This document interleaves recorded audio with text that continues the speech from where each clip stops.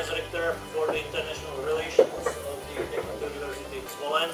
and I would like to officially welcome you on the premises of the Technical University in Zvolen, here in Slovakia, in the heart of uh, Slovakia, the central part. Uh, we are more than happy that uh, we can welcome you uh, here at our university, uh, but nevertheless, uh, I would like to introduce you the university in a very short while.